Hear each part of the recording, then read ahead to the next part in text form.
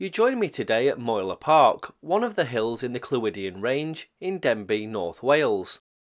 Construction was started on the transmitting station here in 1962 by the IBA to bring 405 line VHF ITV television to North Wales and it's been on the air since 1963. It's seen many changes over the years with the most recent being the digital television switchover. It sits 340 metres above sea level with a guyed lattice mast reaching 230 metres into the sky. I'm sure many of you have driven past or hill walked past this place and wondered what everything on the mast actually does, so today I'm going to tell you. Before I do, these transmitter tours seem to be quite popular, so I've created a playlist which I'll link at the end of the video, as well as the description below, so you can check out my transmitter tours from one place. So at the top we have the main UHF array which serves various digital television multiplexes. It consists of four sides with eight panels on each of those sides. At the very top is a couple of lightning protection spikes and you'll notice a ladder up the side of the array itself which is used for maintenance. Below this is our top set of guy wires with LED warning lights which can be seen here 56 miles away north of Stockport. Moving further down, we have an even mightier UHF television array, which, like the one at the top, serves various multiplexes. What's surprising about this one, despite its size compared to the other, is that it's only a reserve. It consists of many dozens of panels made by RFS to form this impressive array. Now, you may be wondering what the two large metallic boxes are above this reserve antenna. Well, they're liquid mass dampers. These are liquid-filled containers that are designed to reduce oscillations on the mast caused by high winds. Moving down we come to the national DAB antenna. This is a three-sided multi-element array that serves BBC National 12B, Digital 1 11D, Sound Digital 11A and North East Wales and West Cheshire 10D.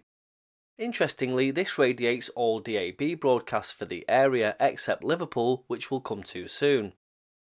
Next is a set of LED warning lights that are shielded from falling ice by these little metal covers, and then there's two end-fed vertical dipoles. The left one looks very old and is possibly the old aerial for amateur radio repeater GB3MP. The right could be PMR for local business, or maybe linked to marine usage, but for both of these I can't be certain. Next is another set of guy wires in more detail and a set of aircraft warning lights. If you look into the centre of the mast you can see the RF feeders travelling to the broadcast antennas at the top. Now we come to an antenna that's a bit of a mystery, and that's this J-Beam 300 to 500 MHz 3 element Yagi. I know what it is, I just don't know what it does. It could be used for business comms or just about anything, and it's the only one I could see on the tower. Next we come to this pair of cardioid arrays. These are two element Yagis which are phased and serve Heart FM North Wales on 106.9 MHz. Then we come to another set of warning lights and we can see the eye shelters more clearly, along with what looks like a breakout box for power. You can also see how easily these sections of the mast bolt together, it makes you wonder how they stay up.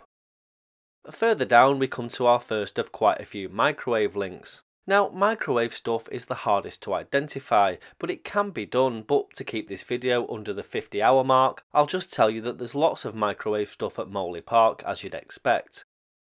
There's EE, MLL Telecom and three links for cellular and data services, Arqiva and Bitstream broadcast links for broadcast television and radio, BT links for telephone and broadband to name just a few applications, and Airwave for the Police National Communications Network. They have point-to-point -point links here carrying signals near and far, from low-band microwave frequencies to extremely high-band frequencies. In the background you can see four folded dipoles. I struggled to identify these but they're similar to what you'd find on other radio sites that sit by the coast. These point towards the Wirral and the Port of Liverpool, so at a reasonable guess I'd say they're marine related. Moel-y-Parc does have aerials here used by the Coast Guard and the RNLI, so it's plausible that these do have a marine application. In front of the folded dipoles you'll notice this set of four phased 5 element band 3 Yagis which form the antenna system for Liverpool 10C. DAB radio that covers Liverpool. This sits separate quite a way down the mast from the main DAB array and I'm not certain why. Next up is this set of tightly fitted shrouded log periodics. There's eight of them in total, and systems like this are used for lower power digital television services and are more commonly found on relays. This array serves the area around the town of Mold nearby, and you can see a microwave link near to this as well. Moving on, we come to this slanted beam pointing towards the North Wales coast. This is the reserve antenna for Heart North Wales on 106.9 FM. There's also another set of guy wires helping to hold everything up. Next we have another pair of microwave antennas, and further down this folded dipole, which again I can only assume is for marine VHF. Nearby is this pair of end-fed vertical dipoles, and these appear to serve the police's digital communications network known as Airwave. Usually they use four-stack folded dipoles, but with the location of Moel-y-Parc they've opted for end-fed verticals. Next are quite a few point-to-point -point microwave links of varying sizes, and one that's certainly seen better days. There's also a couple of folded dipoles hiding in this section of mast, which I can only assume are marine VHF related.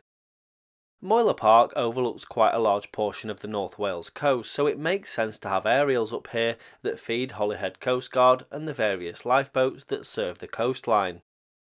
Further down is our first of two cellular sites on the mast. These panels look quite old and have probably been up here a long time. There's also some microwave links mingled in too. Then we come to this pair of Band 2 receive Yagis pointing in the direction of Wrexham. These were apparently used for the programme feed for MFM, a former Liverpool radio station which was transmitted from Moel-y-Parc on 97.1 MHz during the 1990s. Now we come to a couple of older bits of kit. The top piece is this microwave link, and the bottom piece is this trough. The trough points over to Winter Hill Transmitting Station and served as the original programme feed when BBC Two first entered service at Moel-y-Parc in 1969. Moving further down, we come to the second cellular site, which I believe belongs to EE and 3, and there's another microwave link in the background. And the rest of this lower portion of mast is filled with microwave links. This star-shaped one is quite interesting. I thought it may be related to PCM, a system I did a video about which I'll link at the end of this one. There's another PCM dish on Holme Moss, but it turns out this one isn't PCM related, so I'm not sure. It does look cool though. And then we get to the bottom.